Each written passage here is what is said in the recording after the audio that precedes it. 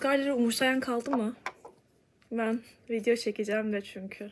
Merhaba dostlarım, nasılsınız? Umarım iyisinizdir. Ben Zeynep.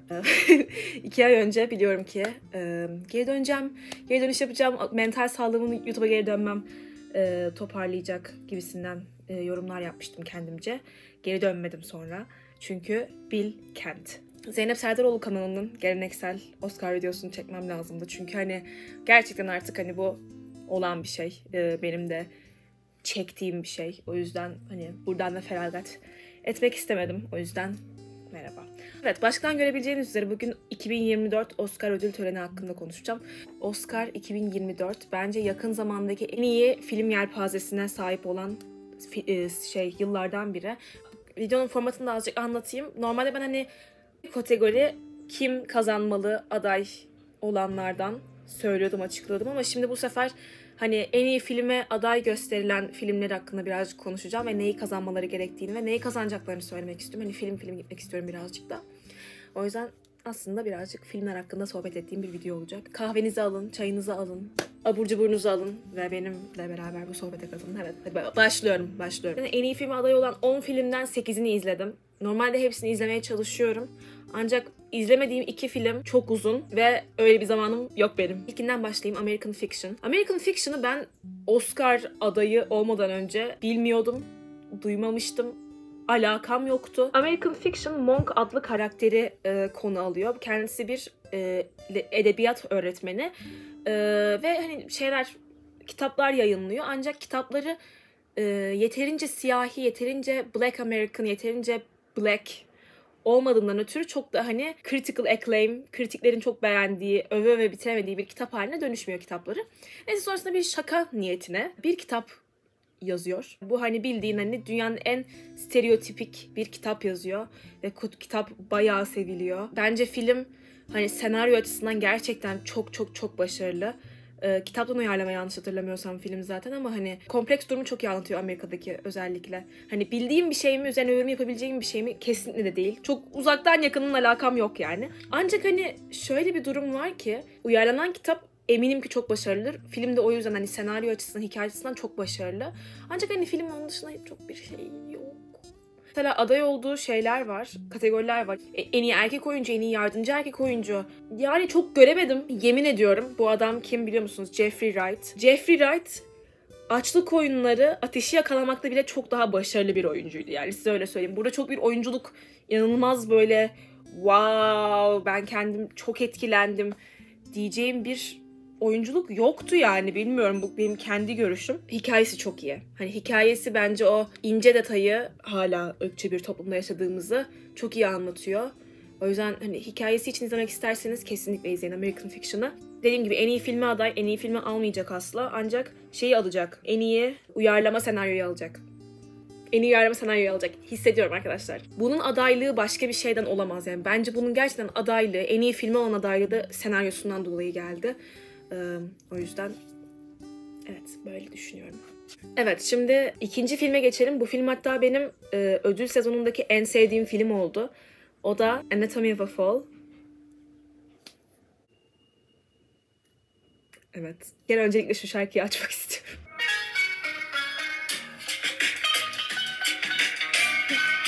Bakın arkadaşlar ben bu film hakkında bildiğim tek şey bir courtroom drama olmasıydı. Bir hani mahkemede geçiyor diyebiliyorum. Benim okulun sinema salonundaki, sinema kulübüyle izledim çünkü. Okulun sinema salonundaki yerde otururken ki şaşkınlığımı düşünün ilk 5 dakikada bu şarkı çalınca.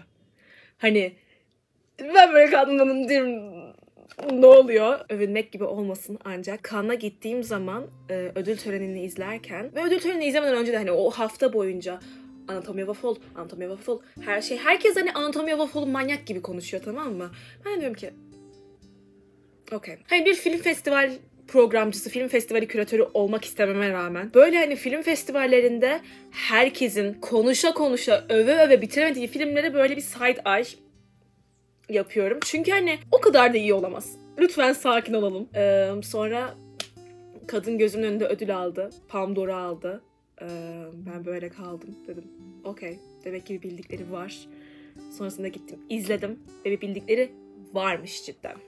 Şimdi Anatomy of a Fall'ın e, olabildiğince minimum bir şekilde e, neyi anlattığını anlatacağım. Çünkü bence hiçbir şey bilmeden gitmeniz en güzeli, en mantıklısı.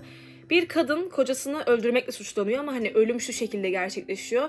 Alp dağlarındaki evlerinin üçüncü katından adam düşerek ölüyor. Ve tek görgü tanığı, görgü diyorum ancak hani tek tanık e, onların görme engelli oğulları ve köpek. Öncelikle şunu da söylemek istiyorum ki hayatımda gördüğüm en iyi hayvan oyunculuğu Anatomy of a Fall'daki köpeğindir. Hani onun kö- o köpeğin yarım aklı olsaydı benim iki köpeğimde de hani şu an ben dünyaları kazanmış olabilirdim. Anatomy of a Fall'dan hani bir sürü kategoriye aday. En iyi film, en iyi yönetmen, en iyi kadın oyuncu, en iyi film editing, en iyi orijinal senaryo. En azından yazdıklarım bunlar. En iyi orijinal senaryoyu alacak bu arada arkadaşlar. Çok net. Hani bence hani kategorideki en güçlü sen film o zaten. Aslında standart kadın kocasını öldürmekle suçlanıyor. Sonra mahkemeye gidiliyor. Ayrıca avukat var, oğul var. Hani çok aslında minimal bir film. Ancak o kadar komik ki. Öncelikle gerçekten çok çok komik. Bence hani filmin espri seviyesi o kadar cuk oturuyor ki ne böyle çok fazla hani çok az ama aynı zamanda çok da ciddi hani böyle bir olay var. Oğul neye inanacağını bilmiyor. Hani inanılmaz inanılmaz müthiş bir film. Evet şimdi bir sonraki bahsedeceğim film. Üçüncü film aday olan en iyi filme. O da Barbie. Barbie hakkında ne demeli arkadaşlar? Barbie hakkında hani herkes o kadar fazla konuştu ki hani benim konuşmam artık çok da hani gerekli mi? Değil. Ancak benim Barbie hakkındaki görüşlerim büyük ihtimalle birazcık unpopular, birazcık hani konuda herkesin düşündüğü bir şey de düşünmüyor olabilirim. Ben Barbie'yi sevdim bu arada hani cidden hani. 5 üzerinden 4 yıldız verdim galiba yanlış hatırlamıyorsam. 2-3 ee, tane böyle gerçekten kritiğini yaptığım şeyler var. Öncelikle birincisi bu film bence bir Greta Gerwig filmi değil. Ee, Greta hani ben Greta Gerwig'i çok seviyorum. Is, yani gittikçe ısınan bir insanım Greta Gerwig'e. Ben Lady Bird ilk çıktığı zaman hani diğer kızlar gibi olmak istemediğim için çok sevmemiştim. Ancak sonrasında hani Lady Bird'ün Lady Bird yani. Lady Bird gerçekten 2010'lar sinemasının en en en değerli filmlerinden biri bence ve Greta Gerwig'den çıktığı için de çok önemli benim için. Ancak hani bu film bir Greta Gerwig filmi gibi hissettirmiyor ne kadar. Hem Little Woman'da hem Lady Bird'de olan elementleri olsa bile mesela o hani America Ferrera'nın yaptığı o müthiş monolog olsa da hani hem Lady Bird'de hem Little Woman'da gerçekten hani o feminizm, kadın olma deneyiminin çok daha nuans, çok daha böyle özel kesimlerine iniliyor. Barbie öyle değil. Barbie çok çok yüzeyde kalıyor bence. Olabilir bu arada hani bu tamamen okey. Ben buna hiçbir şey demiyorum. Ancak hani feminist masterpiece değil. Özür dilerim, özür dilerim, özür dilerim.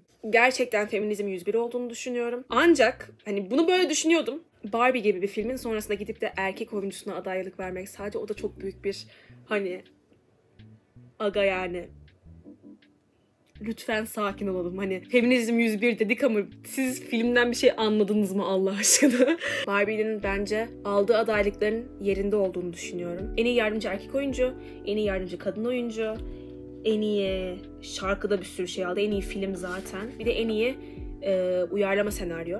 En iyi kadın oyuncu orada bir tık bir sıkıntı var. Hani e, Margot Robbie'nin dünyanın en iyi oyunculuğunu sergilediğini düşünmüyorum Barbie'de. Ancak hani en iyi kadın oyuncu kategorisine baktığım zaman bir kişi çok böyle göze çarpıyor ve keşke orada olmasa diyorum Annette Bening Hani ne alaka abla sen? Oraya Margot Robbie'yi yapıştırabilirlermiş bence kendi şahsi görüşüm. Dediğim gibi Margot Robbie'nin çok daha iyi oyunculuk gösterdiği filmler var. Hani Barbie bence birazcık sönük kalıyor hatta. Şu konudan gerçekten takdir etmek lazım Barbie'yi. Hani Barbie bir artık hani popüler kültür adını yazmış bir film. Kesinlikle hani bu film unutulmayacak. Dünyanın en iyi filmi mi? Hayır. Şimdi dördüncü filme geçelim en iyi filme aday olan. O da The Holdovers. Holdovers, Holdovers'ı çok sevdim. Holdovers tam benim seveceğim bir film çünkü hani eğer siz de Dead Poet Society, Scant, Scant of a Woman, hatta ne diyebilirim başka?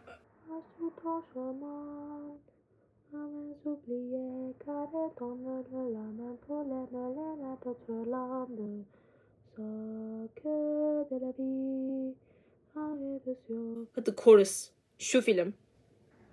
Bu filmi de bak bu film Dead Poet Society, Scant of a Woman.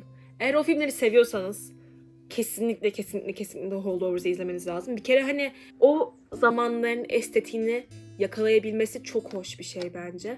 Hani mesela title sequence'lar hani şeydeki hani bu filmlerin başında işte şey e, prodüksiyon şirketlerinin gösterildiği şeyler oluyor. O bile mesela o zamanlara o zamanlardan kalmış bir şey. Ben çok beğendim. Holdovers çok iyiydi. Genel olarak öğretmenlere karşı olan empatim inanılmaz yüksek. Yani bir öğretmenle yaşıyorum zaten bu arada. Ben halamla yaşıyorum. Halam emekli öğretmen. Öğretmen olmak dünyanın en zor işi. Çok onurlu bir iş. Bu filmde şunu anlatıyor. O erkek yatılı okulundayız.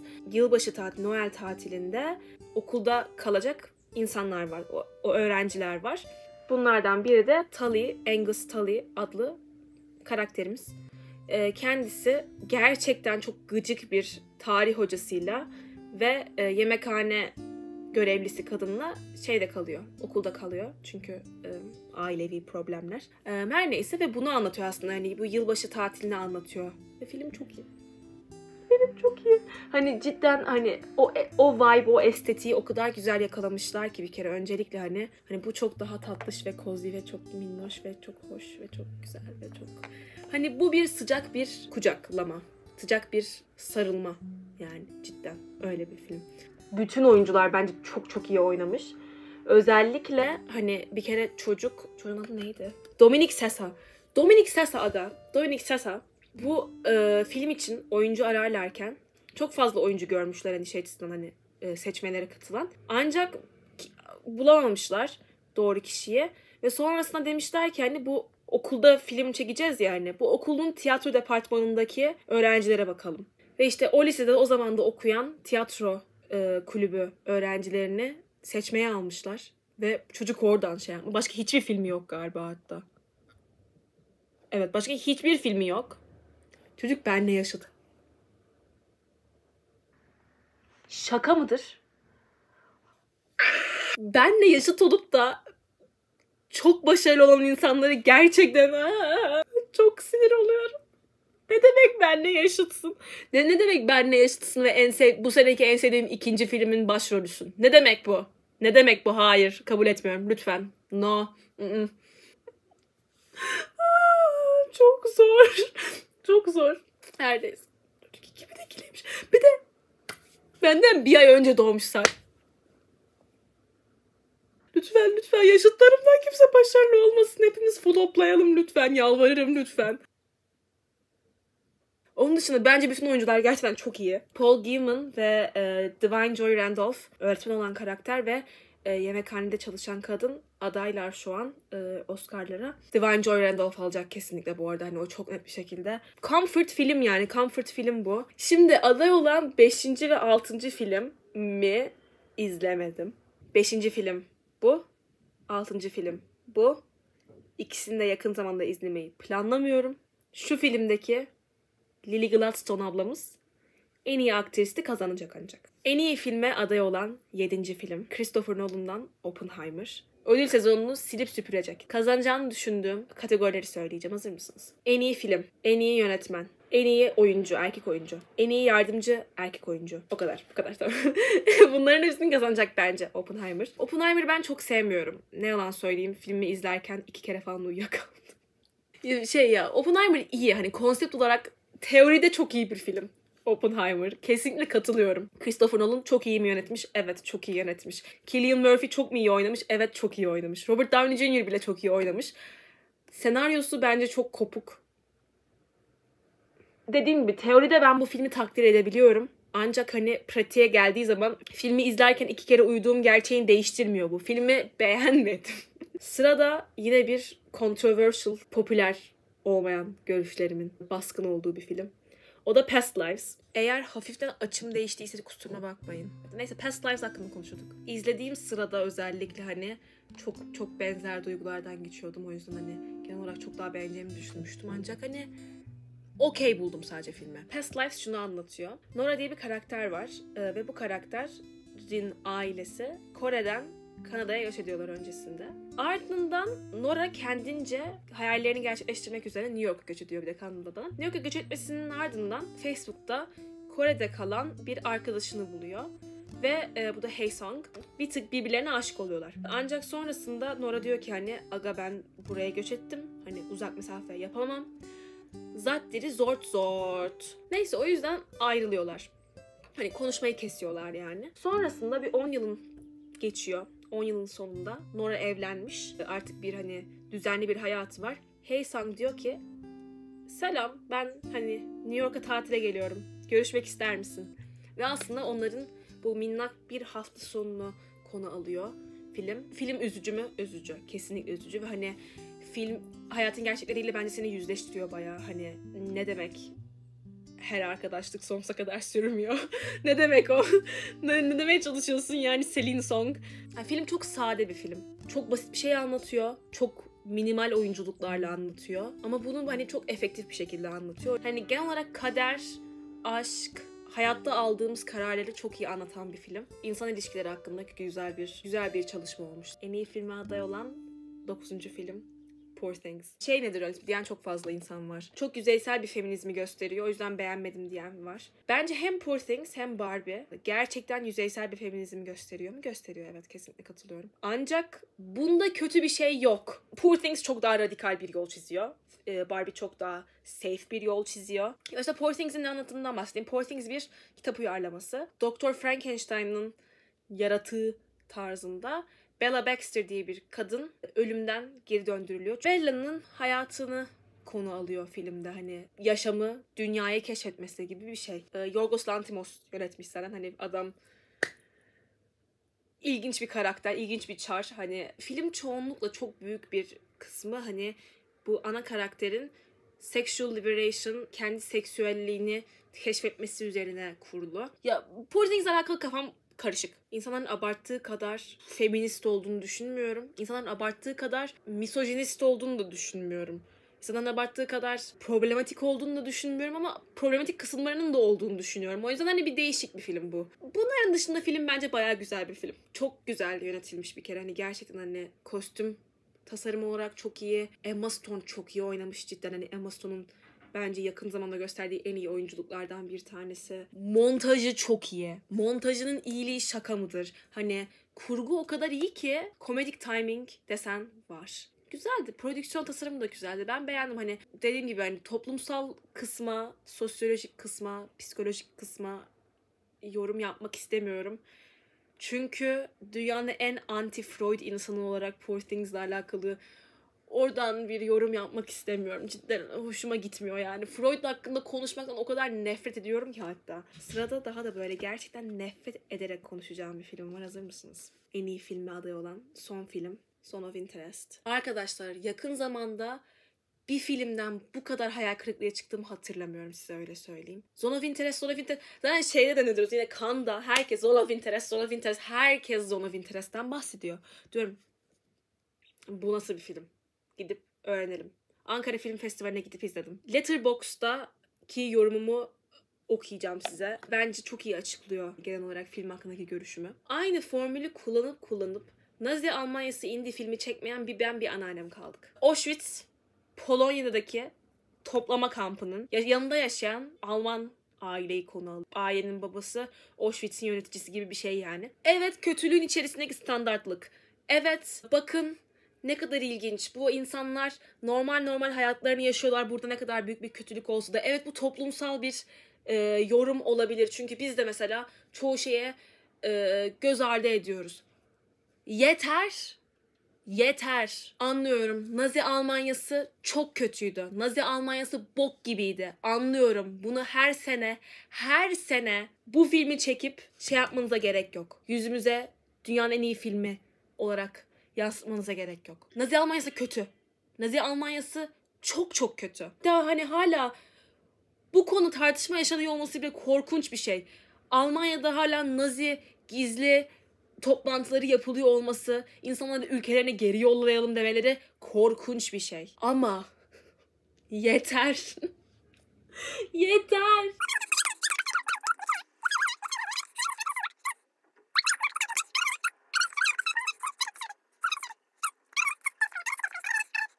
Kötülüğün içerisindeki sıradanlık ve sıradanlığın düzeni. bunu bu kadar uzun süre boyunca anlatmana gerek yok. Ben gerçekten hikaye kadınıyım. Eğer filmin hikayesiyle bağlantı kuramazsam, karakterleriyle bağlantı kuramazsam hani benim için çok bir şey ifade ediyor mu? Etmiyor. Eğer ben bu aileyi zaten en başından Nazi oldukları için umursamıyorsam ve sonrasında da ben bunu niye izlemeliyim sorusuna herhangi bir şekilde cevap vermiyorsa film ben niye bu filmi seveyim? Aga ben gerçekten Nazi perspektifinden herhangi bir şey izlemek istemiyorum. Okey. Filmin görüntü yönetmenliği süper ötesi. Bayıldım. Sinir oluyorum bu filme. Zone of Interest en iyi uluslararası filmi kazanacak. Çok net zaten. Zone of Interest hoşuma gitmeyen bir şey. Umarım gerçekten sadece kazanacağı tek ödül en iyi uluslararası film olur ki onu bile kazanmasını istemiyorum. Çünkü bence çok daha iyi filmler var o kategoride. Kategoride. en iyi daha çok daha iyi filmler var o kategoride. Şimdi madem hafiften bahsettim en iyi uluslararası filmlerden de bahsedeyim. Çünkü bence onlarda da çok güzel filmler var. Zone of Interest izleyeceğinize gidin Io Capitano izleyin. Io Capitano geçen sene izlediğim en iyi filmdi. Ayrıca gidin bunun yerine Zone of Interest yerine Society of the Snow'u izleyin. Her neyse. Sinirli sinirli bitiriyorum videoyu ama bitiriyorum arkadaşlar. Çok konuştum çünkü. Ee, Umarım bu videoyu beğenmişsinizdir. Beğendiyseniz lütfen beğen butonuna basmayı unutmayın. Beğenmediyseniz de lütfen beğenmeme butonuna basmayı unutmayın. Ayrıca kanalıma abone olursanız çok sevinirim. Instagram'ımı takip etmeyi unutmayın. Çok aktifim orada. Hani YouTube'dan daha çok orada aktifim. Şimdilik ben gidiyorum. Görüşürüz. Hoşçakalın. Bay bay.